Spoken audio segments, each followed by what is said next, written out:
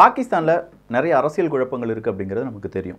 இப்போ அங்கே நடந்துட்டு இருக்கிறது ஒரு இன்டரிம் அரசாங்கம் அப்படிங்கிறது நமக்கு தெரியும்.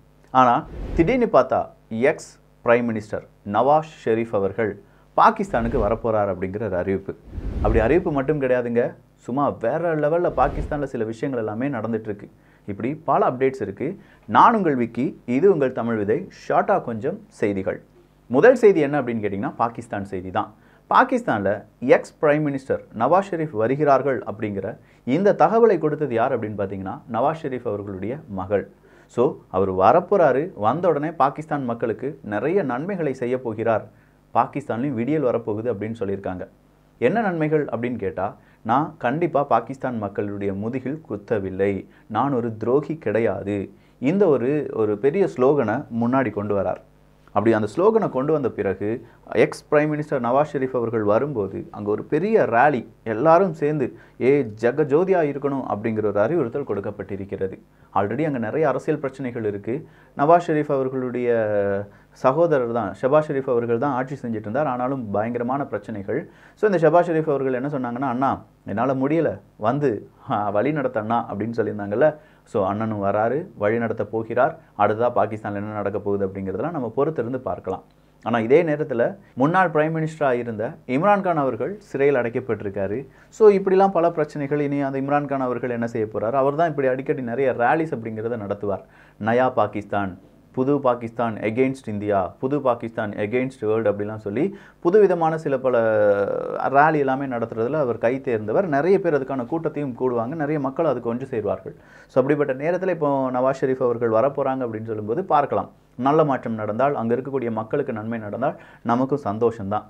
எதிரி நல்லா இருந்தாலும் சந்தோஷப்படுறது ஒரே ஆள் இந்தியர்களாக தான் இருப்பாங்க. குறிப்பாக தமிழர்கள் அதில் ரொம்ப சாட்டிஸ்ஃபைடாக இருப்பாங்க. அடுத்ததாக எகிப்த்.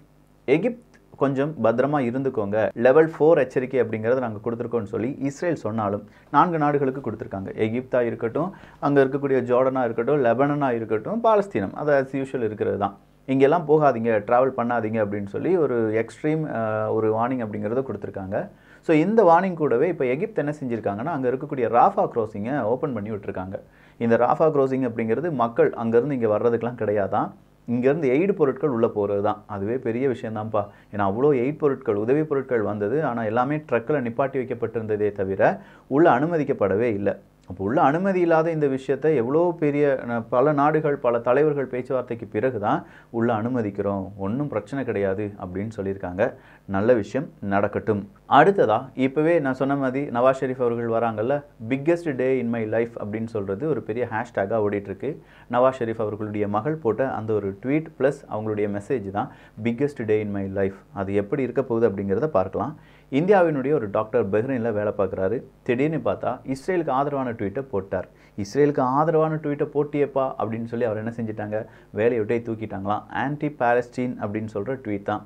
ஆனால் இதே பஹ்ரைன் பாலஸ்தீனத்துக்கு ஆதரவு தெரிவிக்கவில்லை அப்படிங்கிறது நமக்கு தெரிஞ்ச விஷயம். இங்கே இஸ்ரேல் பாலஸ்தீன பிரச்சனை நடக்கும்போது வேணாம் எனக்கு இதெல்லாம் வேணாம். நாங்கள் வந்து பாலஸ்தீனத்துக்கு அதுவும் ஹமாஸுக்கு எதிராக தான் இருக்கோம். இஸ்ரேலுக்கு ஆதரவாக இருக்கோம். அப்படின்னு சொன்ன யுனைடெட் அரப் எமிரேட்ஸ் ஒரு நாடு என்றால் அடுத்த நாடாக அறிவித்தது பஹ்ரைன் தான். அதே பஹ்ரைனில் இங்கே நீ பாலஸ்தீனத்துக்கு எதிராலாம் ஏதாவது போட்டினா உன் வேலை நீ இங்கே இருக்க வேண்டாம் உன்னை நாடு கடத்திடும் அப்படின்னு சொல்கிறதும் அரங்கேறி இருக்கிறது. ரஷ்யா உக்ரைனுடைய அமைதி பேச்சுவார்த்தை புதுக்கட்டமான அமைதி பேச்சுவார்த்தைக்கு இப்போ எல்லாருமே தயாராகி வராங்க. வேறு வழி கிடையாது. நல்லா யோசிச்சு பாருங்கள் எந்த பக்கம் போனாலும் இப்போ உக்ரைனுக்கு அடப்பு போட்டுட்டாங்க. அதனால் வேறு வழி கிடையாது. ஸோ இந்த ஒரு அமைதி பேச்சுவார்த்தையில் துருக்கி ஒரு பார்ட்டாக இருக்காங்க. துருக்கி வழியாக ஒரு அமைதி பேச்சுவார்த்தை சீக்கிரமாக நடைபெறுவதற்கான வாய்ப்புகள் இருக்குது அப்படின்னு சொல்லப்படுது. பார்க்கலாம். நல்லது நடக்குமா அப்படின்னு சொல்லி. கனடா. இந்தியாவினுடைய தூதரக அதிகாரிகள் நாங்கள் எல்லாரையுமே திரும்ப கொண்டு வந்துடுறோம்ப்பா அப்படின்னு சொல்லி கனடா அறிவித்து விட்டார்கள். காரணம் இந்தியா தான் அப்படின்னு சொல்லி மறுபடியும் ஜஸ்டின் ட்ரூட் அவர்கள் சொல்கிறாங்க இந்தியா எடுத்த முடிவால் கிட்டத்தட்ட பல லட்சம் மக்கள் பாதிப்படைவார்கள் அப்படிங்கிற ஒரு கருத்தையும் ஜஸ்டின் ட்ரூட் அவர்கள் கொடுத்திருக்கிறார். இந்தியாவுக்கு எதிராக கனடா இருக்காங்க. அப்போ இந்தியாவுக்கு எதிராக இருக்கக்கூடிய நாடுகள் கண்டிப்பாக கனடாவுக்கு ஆதரவு தெரிவிப்பார்கள். யூகே ஏ அவன் நம்மளை ஆட்சி செஞ்சவனாச்சேப்பா அப்படின்னு சொன்னால் அவனை விட பெருசாக வளர்ந்துட்டோம்ல அப்போ கண்டிப்பாக நமக்கு எதிராக தானே பேசுவாங்க அப்படிங்கிற மாதிரி கனடாவுக்கு நான் சப்போர்ட் இருக்கேன் அப்படின்னு சொல்லி யூகேன்னு என்ன சொல்லியிருக்காங்க? சப்போர்ட் இருக்காங்க. பார்க்கலாம் என்ன நடக்குது அப்படின்னு சொல்லி. எகிப்த் ஜோர்டான்லேருந்து உடனடியாக வெளியேறுங்கள் தயவு செஞ்சு யாரும் அங்கே இருக்க வேண்டாம் அப்படிங்கிற அந்த ஒரு குரல் அந்த ஒரு வார்னிங் இஸ்ரேல் மட்டும் கொடுக்கல அமெரிக்காவும் கொடுத்திருக்காங்க. கூடவே புட்டின் அவர்களும் கொடுத்திருக்கிறார் என்பது குறிப்பிடத்தக்கது. கனடாவும் ஜோர்டான்ல அங்கே இருக்கக்கூடிய மக்களை வெளியேற்றுவதற்காகவும் லெபனன்ல இருந்து இருக்கக்கூடிய கனடாயர்களை வெளியேற்றுவதற்காகவும் மிகப்பெரிய முயற்சிகள் எடுத்து வருவதாகவும் கனடா வரலாற்றிலேயே இதுதான் பெரிய ஒரு முயற்சியாக இருக்கும் அப்படின்னும் சொல்லப்படுது. சைப்ரஸுக்கு கொஞ்சம் சைப்ரஸில் இஸ்ரேலினுடைய தூதரகம் இருக்குது அந்த தூதரகத்திலும் கொஞ்சம் கொஞ்சம் தூரம் தள்ளி பார்த்தா டமார்னு ஏதோ வெடிக்குது பார்த்தா குண்டா.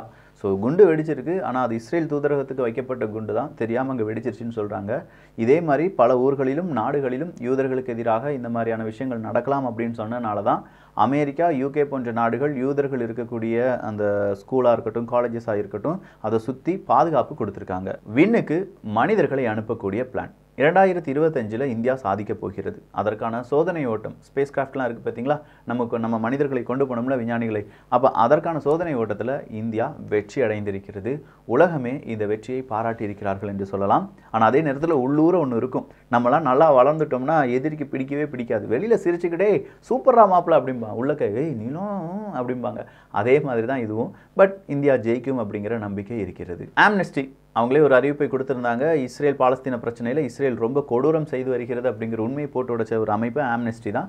ஆம்னெஸ்டி ஒரு அமைப்பு. அவங்க ஃபண்டு கொடுத்தா என்ன வேணாலும் பேசுவாங்க அப்படின்னு சொல்லி இஸ்ரேல் அதை விமர்சனமும் பண்ணியிருந்தாங்க. அதே ஆம்னெஸ்டி இன்னைக்கு என்ன சொல்லியிருக்காங்கன்னா ஒரு குடும்பத்தையே கொண்டு இருக்காங்க இஸ்ரேல். அங்கே யாருமே கிடையாது. அந்த குடும்பத்தில் யாருமே மீதம் இல்லை அப்படிங்கிற ஒரு தகவலை கொடுத்துருக்காங்க. ஸோ ஆம்னெஸ்டி சொல்லியிருப்பதை இஸ்ரேல் இதையும் என்ன செய்வாங்க?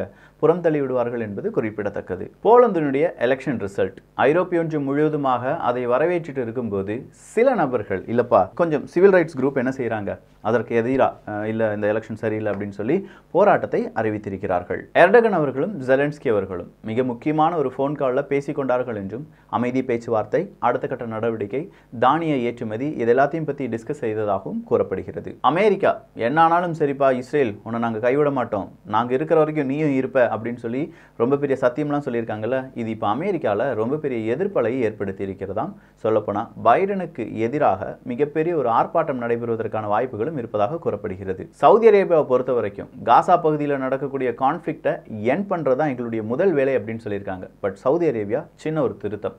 அது கான்ஃப்ளிக்ட் கிடையாது யுத்தம்.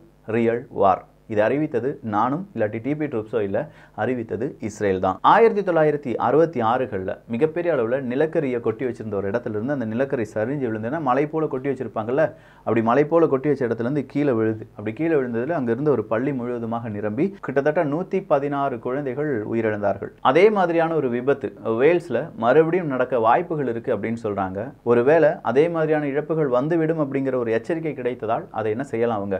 கொஞ்சமாக தள்ளி வைக்கலாம். ஏன்னா அந்தளவுக்கு நிலக்கரி வேஸ்ட்டை போட்டிருக்காங்களாம் வேல்ஸில்.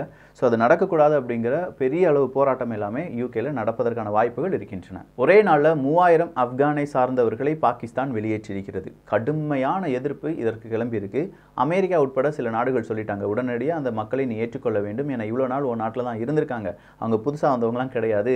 இந்த ஒரு அரசியல் விளையாட்டுலாம் வேண்டாம் தம்பி அப்படின்னு சொல்லியிருக்காங்க. பாகிஸ்தான் இதை கேட்பாங்களா அப்படிங்கிறத காலம் தான் பதில் சொல்ல வேண்டும். செர்பியா கொசோவினுடைய லீடர்ஸ் தயவு செஞ்சு பேச பேசுங்கப்பா அப்படிங்கிற ஒரு ரிக்வெஸ்ட் கொடுத்துருக்காங்க. உலக நாடுகள் ஏதாவது ஒன்றிணைந்து நடுநிலைமையாக இருந்து இந்த செர்பியா கொசோவா அப்படிங்கிற இந்த ஒரு பிரச்சனை முடியுமா அப்படிங்கிறத எதிர்நோக்கி அங்கே இருக்கக்கூடிய மக்கள் காத்து கொண்டிருக்கிறார்கள் குவாம் ஏர்வேஸில் இன்னைக்கு America nuclear capable B fifty two பாம்பஸை நிப்பாட்டி வச்சிருக்காங்க.